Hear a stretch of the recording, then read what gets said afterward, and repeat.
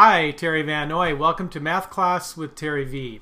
Hope this video helps you out, and if you enjoy it, please share it, comment, or like it.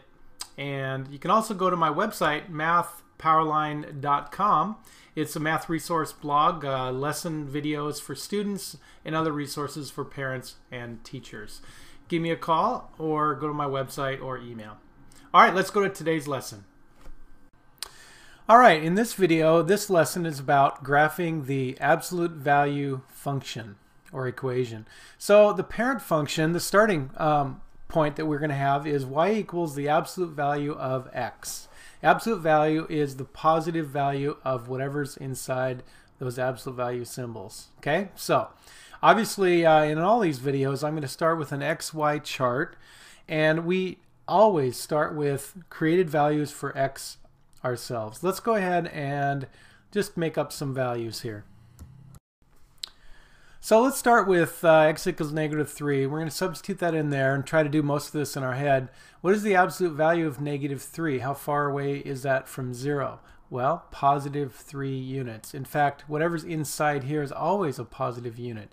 Absolute value of negative 2, absolute value of negative 1, absolute value of 0. How far is 0 from 0? Yep, no units away. Absolute value of positive 1 is still positive 1. Absolute value 2 is 2, and so on. Now you'll see kind of a, a logical pattern here, but let's go ahead and graph these uh, ordered pairs. Negative 3, positive 3.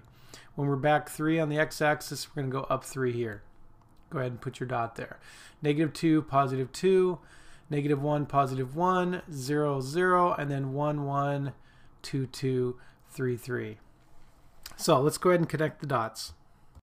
So our parent function of y equals the absolute value of x looks like that. Notice that there are no negative y values, and that should make sense because whenever x is positive or negative, the y value is always going to have to stay in a positive level.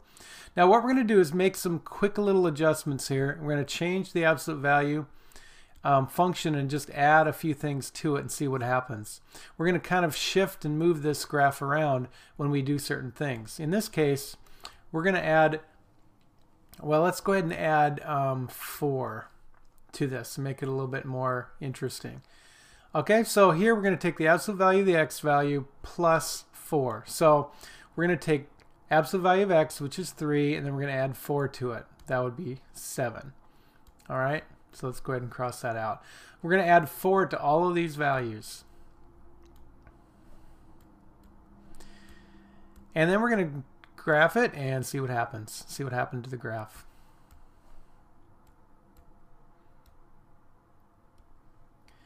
And just to finish up here, 2 plus 4 is 6, 3 plus 4 is 7. All right, let's graph that. Did your ordered pairs show up like that? Notice that we shifted from the green graph up, guess what, 4 units. So when we add an outside number outside of the absolute value symbols, it's an upward shift. Guess what happens when we subtract? It's going to be a downward shift. Let's connect the dots. So there's our graph of absolute value of x plus 4. Now we're just going to change this a little bit and have the absolute value of x and kind of test out our theory. What happens if we're going to subtract on the outside? For example, minus 5.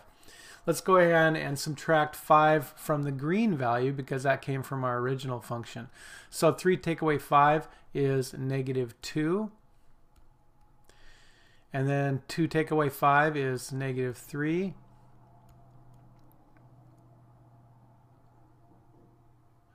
One take away 5 is negative 4.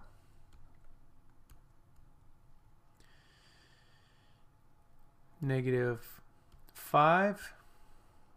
So a little mistake in my writing there, but these are all of our y values when we're taking the absolute value of x and subtracting 5 from it. Here are the ordered pairs. Now let's look at the graph. And now you notice that the parent function in green actually shifted down 5 because of, obviously, the subtraction we added to the equation.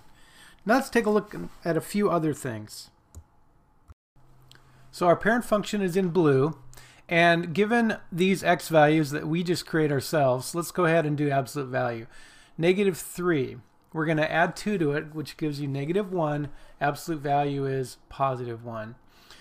Put a negative 2 in there. That would be 0. 0 would be our y result.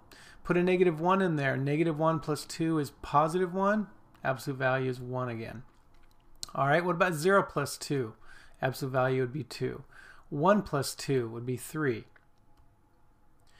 This would be 4, and that would be 5. Okay, let's go ahead and put those ordered pairs on the graph. So, notice what happened. We did a shift, but instead of to the right, it's to the left. So, if you put any kind of value inside the absolute value symbols, it's going to shift it horizontally, right or left. Notice that if we add 2, it's going to go 2 to the left. Okay, we're going to talk about why in just a second. Let's graph it.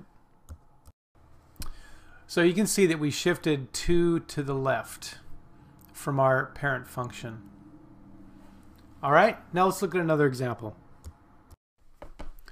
Let's try y equals the absolute value of x take away 4. So we're going to take the parent function, subtract 4 inside the absolute value. Can you predict what that's going to look like?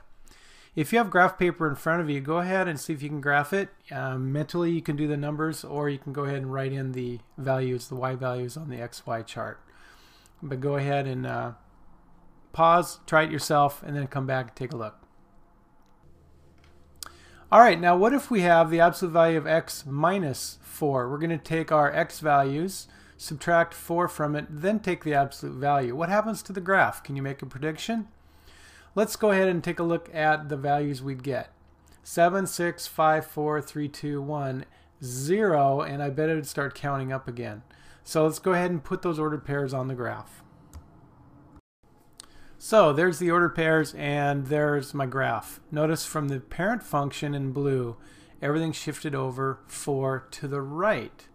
So the pattern is x minus some number, okay? So it's actually, um, if you want to think of it as a formula, in order to look at what kind of horizontal shift there is, you want to make sure that you think of it as x take away a value. Now in this case, that would be a negative 2. You're taking away a negative 2. In this case, it's a positive 4. You're going to go to the right. Okay, so you kind of have to think of an opposite operation there. Now for our final look at uh, what happens to the parent function, let's look at y equals, and let's multiply it by a constant. So let's put a 2 on the outside, 2 times the absolute value of x. All right, so we're going to take all these absolute value amounts and double them. Okay, absolute value of negative 3 is 3, double it for 6. Double that for 4. Double that for 1. Double that for 0 double that for 1 again. Oh, whoops, excuse me, let's go 2. That would be 2, that would be 4, that would be 6. Obviously, everything would be positive. So let's put that on the graph. So there's the ordered pairs and there's the graph in gray. Now notice from the blue function to the gray function, we've got a bend. It starts to narrow a little bit. So we kind of uh, changed the slope from a positive 1 and negative 1 to a positive 2, negative 2. Obviously, that's what the multiplier effect is. Let's look at one other example. Let's do negative, though. So what about y equals negative 3 times the absolute value of x? All right, so we're going to take that. Absolute value of that is 3, triple it, positive 9. There's going to be a bending that happens, but what about the negative? So absolute value of negative 2 is 2, triplet for positive 6. That's a positive 1, triplet for positive 3. 0 is still going to be 0. 1 tripled is 3.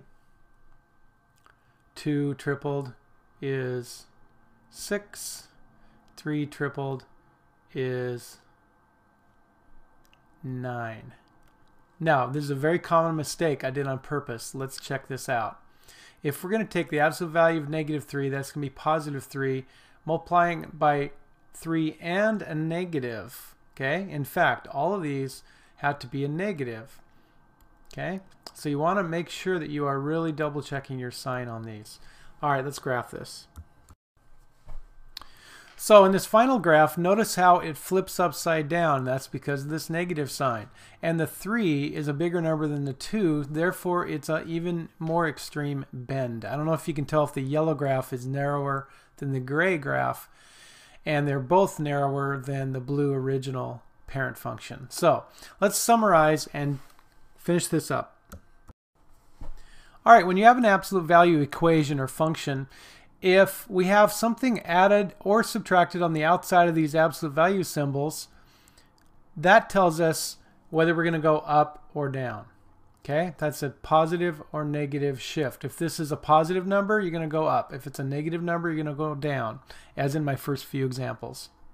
On the inside, if you are subtracting a positive number from x, then that is going to be going that way. All right if it is, so it's a right shift. A left shift would be if this is a negative number. So x take away a negative, it'll look like x plus something. In other words, you got to really be careful about this subtraction idea in here. So we have an up and down shift possible, we have a right left shift possible, and then we have a multiplier effect. All right, if it's positive, then you're going to bend it a little closer in. All right, if it's negative, then it actually flips upside down with the bend depending on the number. All right, so look for another video where we kind of test this out a little bit, and you should be able to make these predictions without creating an XY chart and graph for each of these. All right, good luck. All right, there you have it.